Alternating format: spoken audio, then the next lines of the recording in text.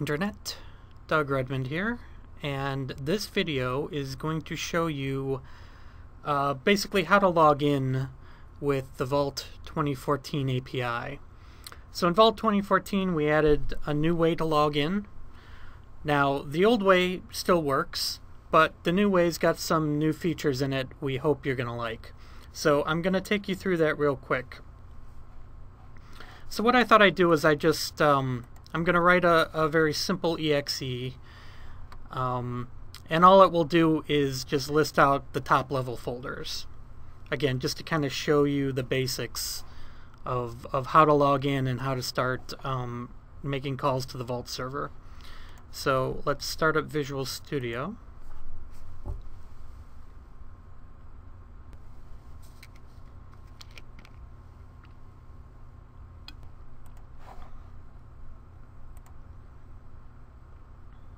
Let's make a new project here.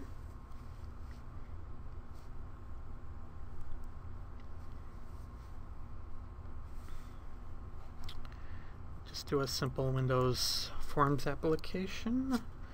So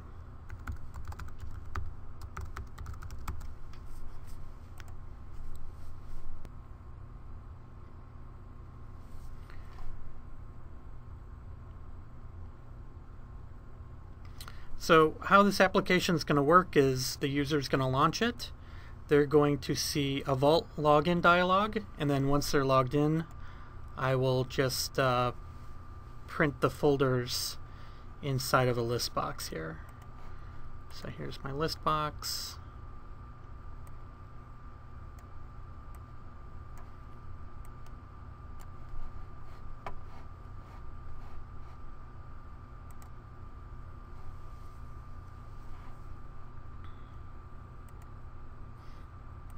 Now, to do the login dialog, I could either create a dialog myself and, and write all the logic myself, or I could use um, the one that comes with uh, the Vault 2014 SDK. So let's set up our references here.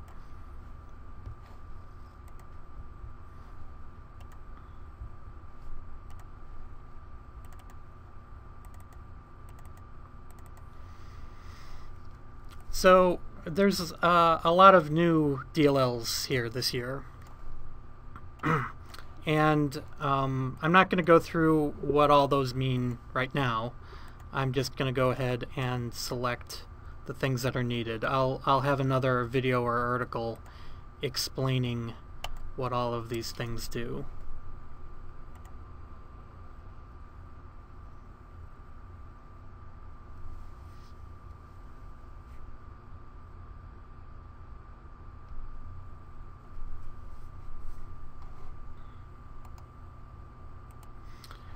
Now to make web service calls, we need a reference uh, to Microsoft WSE, which is installed with your Vault client or server. And also need a reference to System Web Services.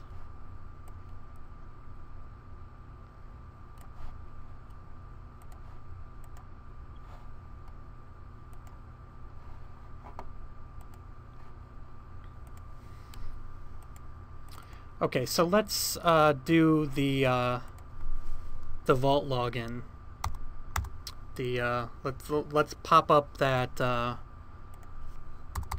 that Vault login dialog first. So that is in this assembly here, this Autodesk Data Management Client Framework Vault Forms. And what I what I recommend doing, so a lot of the new content we put in this auto these Autodesk data management um, assemblies, they have very deep uh, namespace structures. So what I recommend doing is uh, you can give these namespaces kind of an abbreviated name. So I'm going to call this VDF. So Autodesk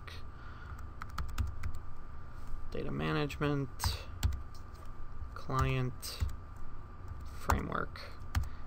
That way I don't have to type all this out anymore. I can just do VDF dot and then uh, continue down there. So VDF dot. So I want to go into Vault Forms. And then library is kind of the common entry point to a lot of these new DLLs. So if I go into the library, I've got my login dialog. Now it wants you to pass in a settings object. Um, for now I'm just going to do the default settings, so I'm just going to do null. And it's going to return this uh, this connection object, which is going to be kind of your your entry point into a lot of the Vault functionality. And I'm also, uh, because connection is used a lot, I'm also going to create another little uses statement up here just for that guy.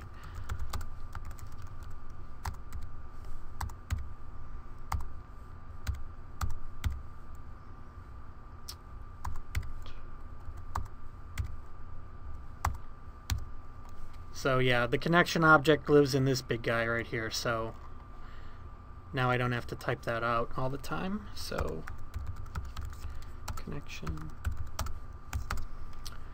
So what this line of code is going to do is going to pop up the dialog, the user is going to log in, and then if it's successful I get back this connection object, which will let me just go in and make calls into the Vault server. So once I have that, I should pass that into my form. So I'm going to update my form here.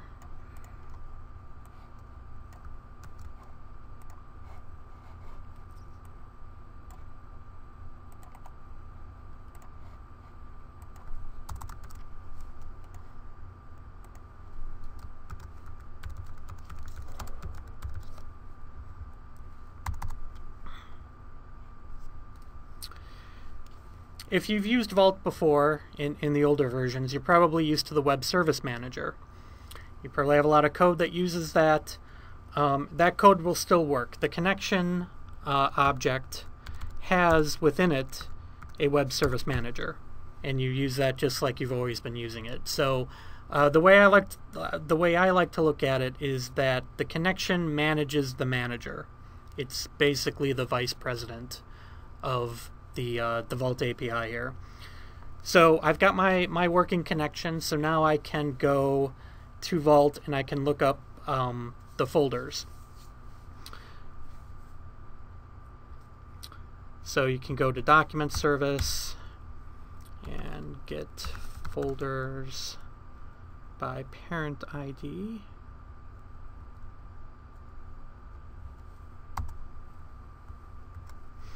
Now in this case, the parent ID is going to be the root folder. Um, I could go to the document service and call a function that says give me the root folder, um, but there's uh, another new thing we added is um, there's another way to get to that root folder. So if I go to the connection object, um, I can go to the folder manager, and there's this root folder here. This is a bit more optimized. It, it will cache that data. If, if it's looked it up already, it will remember that, so you're not constantly looking up this root folder. Um, so I can get the ID that way. And that's my, my call to the web services. Oh, I should also do the return value.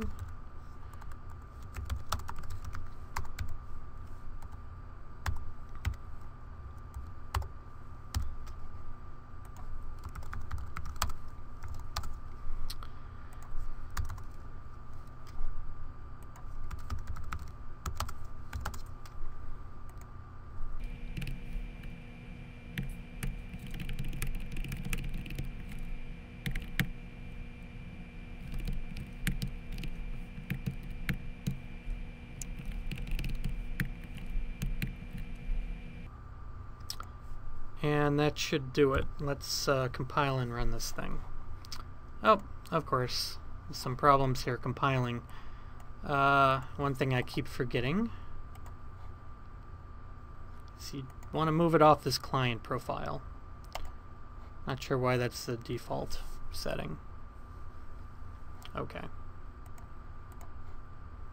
Okay, builds now. Let's run this. So here we go. It brings up the standard Vault dialog. So it's got all the features I can uh, I can browse the vaults on a server. Uh, I can have it remember what I enter in here. Can switch between the uh, the normal account, the Windows account. So we log in and it lists our folders. So that's kind of the basics. Let me uh, let me just show you a couple more things here before I end the video. Let's go play around with this a bit.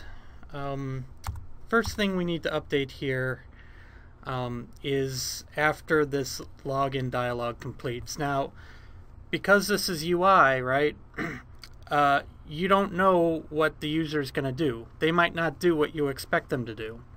Instead of logging in, they might have hit the cancel button or the close button. Uh, in that case, you're going to get back a null connection object, so let's just make sure we te uh, test for that.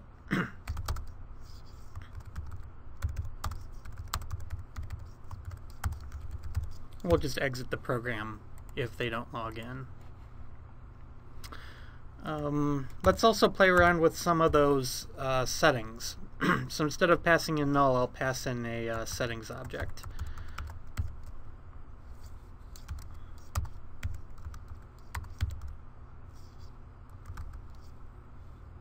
Can go into the Vault Forms settings namespace, and here are the login settings.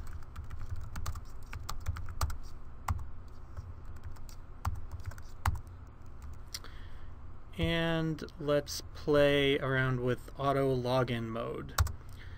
This will uh, tell us the behavior for when um, that checkbox is checked that says remember this information. We can kind of control how we want that to behave. So like, uh, for example, none means we're, we're going to ignore it. They always will have to type in their information. Um, restore means it's just it's going to restore the data, but they still have to hit the OK button.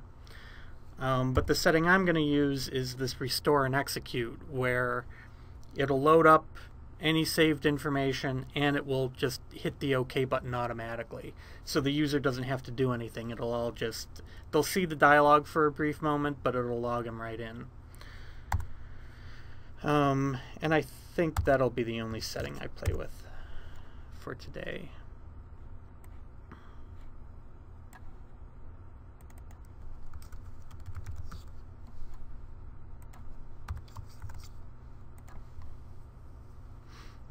Okay, let's run this and see how it acts now.